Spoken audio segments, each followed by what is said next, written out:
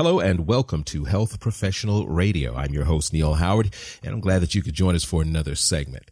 We're going to be talking with Mr. Darcy Klug this morning, CEO and chairman of Redhawk Holdings Corporation, and he's going to talk about the SANDD Mini First Responder.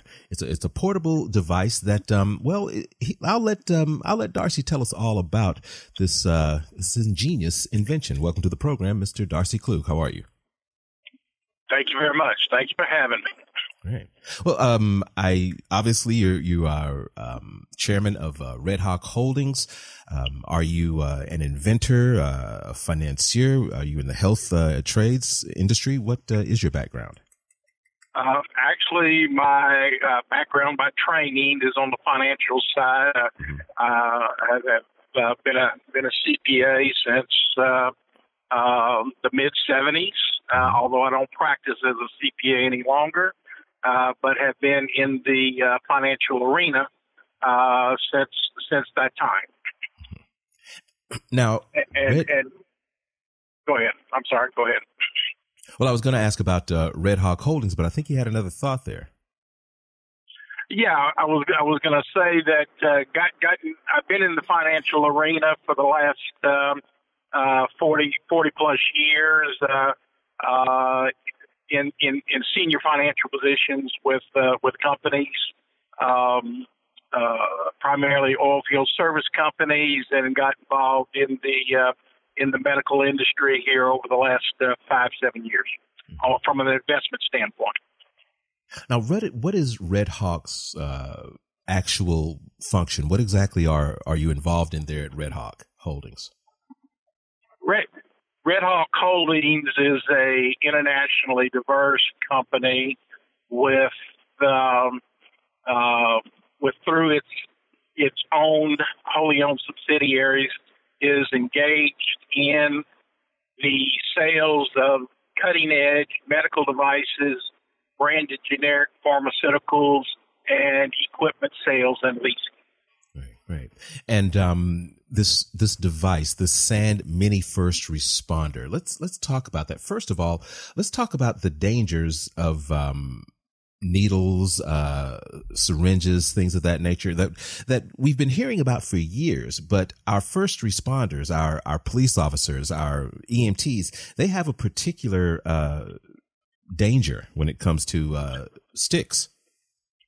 Yes, the uh, needle stick injuries are uh, very very commonplace in the uh, in, in the healthcare profession, and with the um, uh, issues with needle improper disposal of, of needles, uh, it is it has created a real problem for uh, first responders, mm-hmm. uh, and they are at a uh, a greater uh, disadvantage than those in the healthcare industry, in that uh, typically, when someone in the healthcare industry receives a needle, needle stick injury, uh, there's a strong likelihood that they can um, trace back to the individual uh, that the needle was was used upon to see if there's any sort of uh, uh, biohazards that they're dealing with. That's not the case with uh,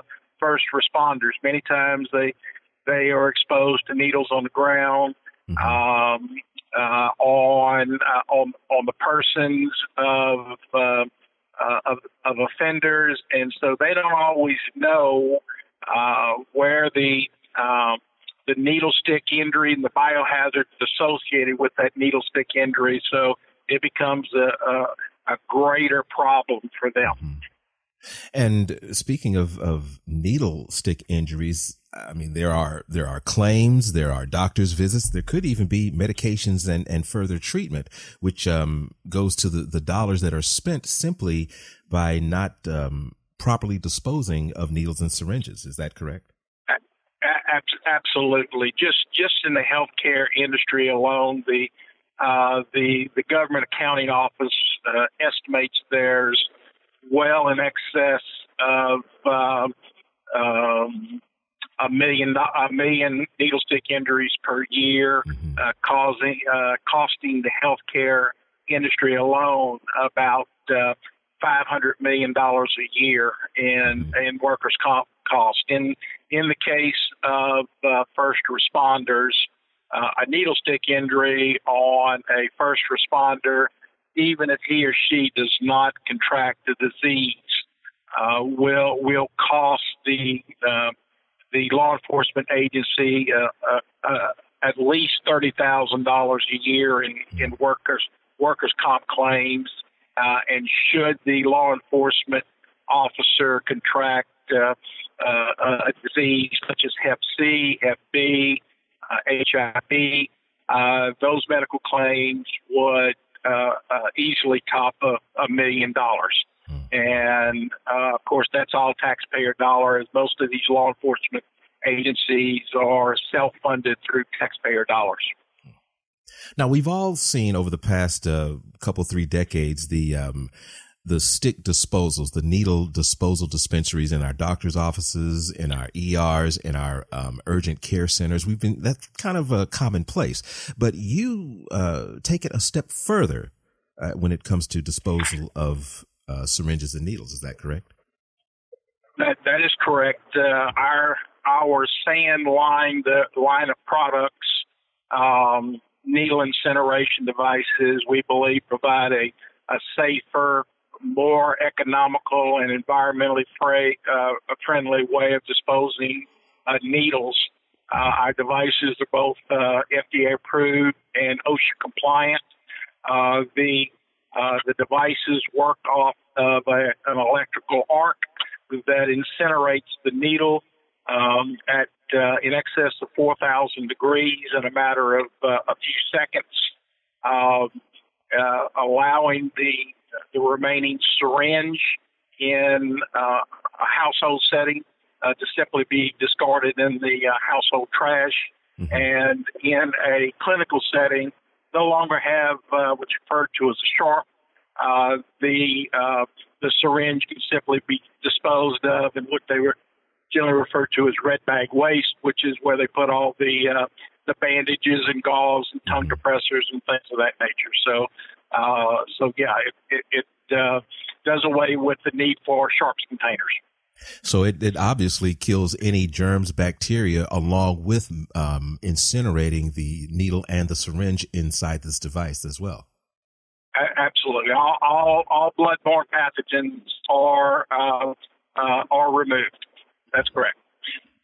Now, is this uh, how much does it? Um, how much would it cost a healthcare facility to, I guess, replace the sharps? Is that what we're talking about? Replacing sharps or um, emptying sharps into these devices after the sharps are? You know, I'm not sure how um, where the cost effectiveness you know, comes in. Yeah, it, it, it varies. Uh, it, it, certainly varies by uh, healthcare facility, mm-hmm. uh, and and depending on uh, volume, uh, on the the number of needles uh, that they that they are going to need to dispose of. Um, in most cases, it is um, it is determined by the amount of weight uh, that, that that they are uh, disposing of, and a big mm-hmm. big a big part of that weight is the actual sharps container itself. Mm. So by removing uh, by removing the uh, the need to dispose of the container itself, you uh, substantially reduce the uh, the weight uh, to the be to be disposed of, as well as eliminating the the risk of needle stick injuries.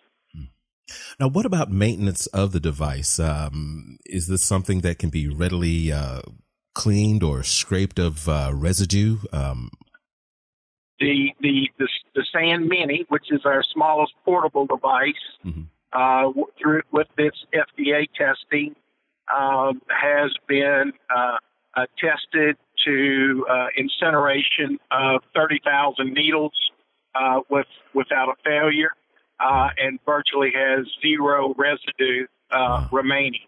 Uh, when we get into burning larger needles, uh, and and let me add that we're not only talking about the medical industry, but the the dental industry and the the veterinary industry as well.